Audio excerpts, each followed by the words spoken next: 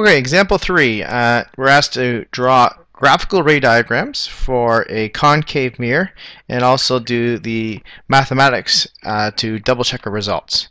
So part A is asking uh, to place the object at 30 centimeters. So here's the object placed at 30 centimeters from the mirror and the center curvature to the mirror is 20 centimeters. It's noted here and therefore the focal length is half of that. That's 10 centimeters. So let's start off by drawing the ray diagram. Uh, so I'm going to draw all four rays. In reality, you only really need two rays to find the image, but it's good to practice with more than two rays. So the first ray is drawn parallel to the principal axis. So here we go. Here's the first ray coming along here. Gets to the mirror, and then it will go through the focus.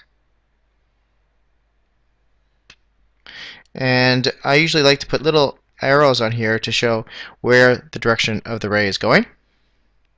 And ray number two is drawn in the reverse order. So you're going to start off at the top of the object, but now going through the focal first, focal point. And then once it reaches the mirror, it's going to return parallel to the principal axis. So there's ray 2. Ray 3 is the ray that goes through the top of the object through the center of curvature. And here we go, going through the center curvature and then back onto itself, back towards the original object. And remember, it's coming back onto itself because it's striking the mirror at a 90 degree angle here. And here is a fourth ray we can draw from the top of the object going towards the vertex. And it's going to reflect so that the angle of incidence is equal to the angle of reflection.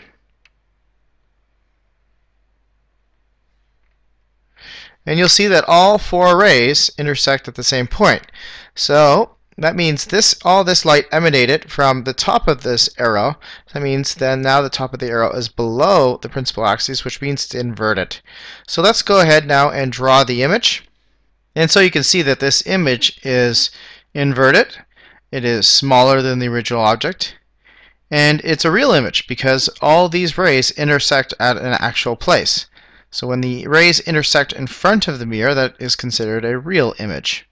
So let's check our construction by computing the image distance and the magnification for the image. So we'll start by using our equation uh, relating the image distance, the object distance, and the focal length, and then make the substitutions. The image distance is what we're looking for. So the object distance is given in this problem as 30 centimeters. And the focal length, um, well, they tell you the radius of curvature is 20, and hopefully you'll realize that the focal length is half of that radius curvature. So that would mean that it would be 10 centimeters.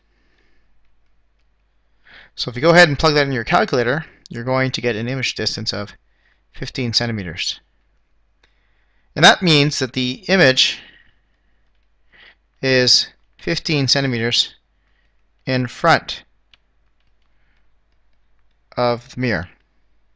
If you remember our sign convention, when you end up with a positive image distance, it means that the image is in front of the mirror. Furthermore, since we end up with a positive image distance, that also tells us that the image is real. Had the image distance become negative, then it would be a virtual image. So now we need to decide whether the uh, calculate by mathematics to see if the image is smaller, indeed, and whether it's inverted. So we use the magnification relating the image distance to the object distance, SI over SO. That's negative 15 centimeters all over an object distance of 30 centimeters. And that gives us negative a half. So this also tells us two things here. This tells us, first of all, the negative sign tells us the image is inverted. And secondly, since this uh, coefficient here is less than 1, then the image is smaller. Okay, and so hopefully you'll see that this distance in here, SI, is 15 centimeters. Uh, the focal length was given as 10 centimeters, and the object distance, SO, was 30 centimeters. And so if you had drawn this out to scale, it would come out to hopefully very close to what you got mathematically. So now let's move on to part B, where we place an image at center curvature. So I'm going to now construct the first ray, which is parallel to the principal axis, and then goes through the focus. I'll probably have to just fix this a little bit. And now I'll go ahead and construct the second ray, but I'll be using a little bit more of a straight edge now. So I'll go ahead and construct the second ray for you. And that goes from the top of the object through the focus to the mirror. And then goes parallel to the principal axis.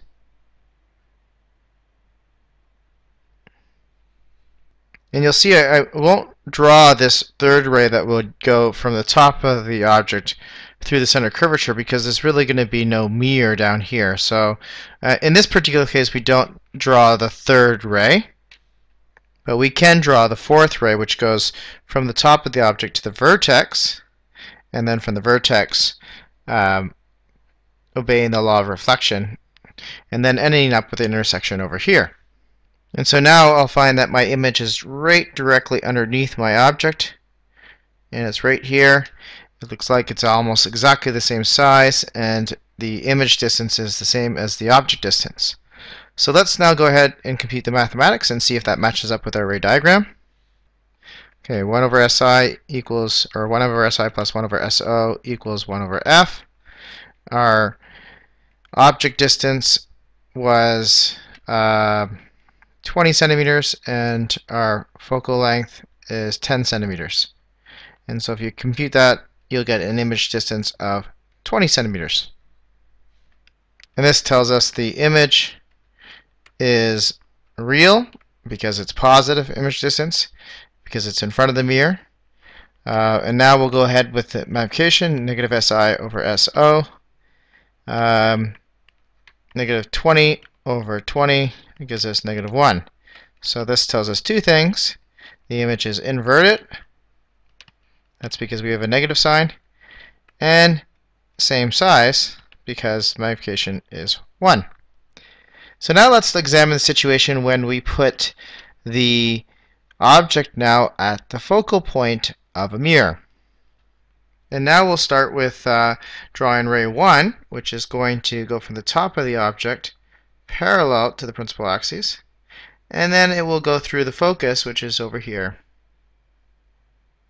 right underneath the object. And ray 2, which would go from the top of the object through the focus and then going off parallel, we're not going to show that one because it's not going to strike the mirror. So let's now skip ray 2 and go to ray 3. Now ray 3 is coming from the center of curvature and going towards the mirror. Uh, well, it's in line with that. So we need to have a ray that is drawn from the um, so it's in line with the center curvature going towards to the top. You need to start the light coming from the top of the object going towards the mirror. Then it reflects the, at the mirror at 90 degrees. So then it's going to come back on through the center curvature here. And the fourth ray goes from the top of the object towards the vertex. And then it's going to leave such that it obeys the law of reflection roughly around there. And so, and hopefully you'll see that these three rays here should be parallel outgoing rays that are going to correspond to an image that is formed at infinity. So let's now go to the mathematics and uh, use our equations to compute the distances and see what we get. So if we start with 1 over SI plus 1 over SO equals 1 over F, uh, the image has been placed at the focal length, which is, or the object is, place that. So it's 1 over 10 and 1 over 10 for both of them. And you'll see you have 1 over SI equals 0. And so SI is basically 1 divided by 0, which is undefined, or really is basically infinity. And your magnification will be negative SI over SO. That's negative infinity all over 10, which is also which is negative infinity.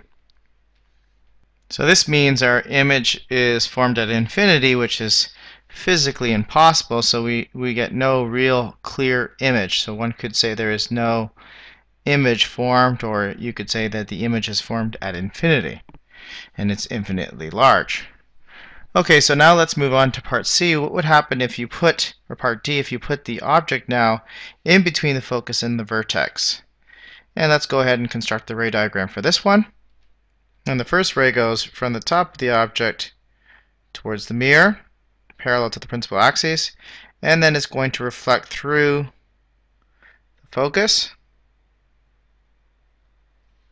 And the second ray is going to be coming from the top of the object, not moving towards the focus, but in a line that is coming from the focus. So going from the top of the object and in this line, but keep going this way.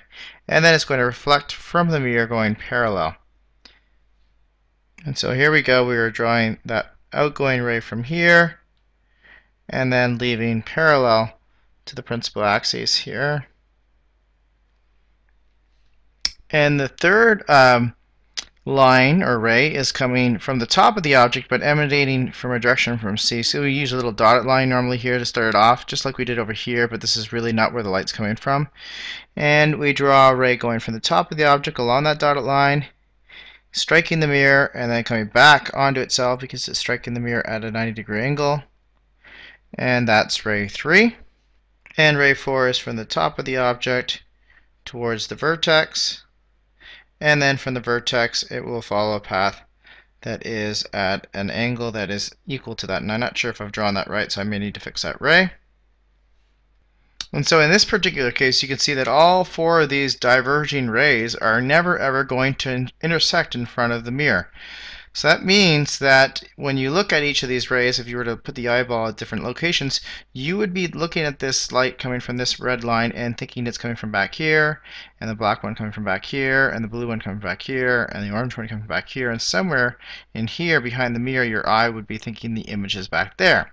So what we need to do is we need to um, show this outgoing beam and show a dotted path back here. Remember, this is important that you put dotted lines in here because you really don't want to say that the light is going through the mirror where it doesn't actually. It's just your eye is tricked in thinking it's behind here. So now you're going to dash your lines behind here. So we'll start with the red line. And so I'm going to continue this line backwards such that it is parallel to the original line. So extend that a little bit back here. And then we'll do that with the um, black line as well. And once again, that is being stretched along in the same direction in here as my ruler was before. And then we'll do that for the blue line as well.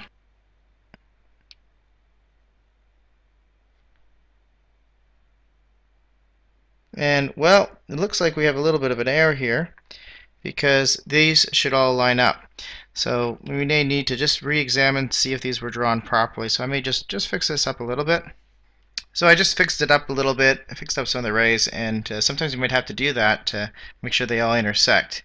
Um, you'll see the red, what I've done, important to realize is that you're you're extending the outgoing rays. So the reflected parts are extended backwards. Never extend these ones. You're extending the ones because your eyeball will be looking through here at this light and seeing this extend back here.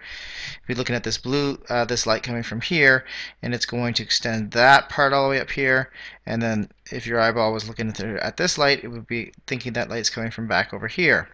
So our final image, the top of this light here, that uh, light, your eye is going to think it's over here now, and you're going to basically see an object that now looks larger, is upright, and it's behind the mirror, which means it's virtual. So now let's check our mathematics to see if this corresponds with this. And so we have 1 over SI plus 1 over SO equals 1 over F. The object distance was placed at half that focal length, which was 5 centimeters, and the focal length was 10 centimeters. And you're going to get an image distance that is negative 10 centimeters.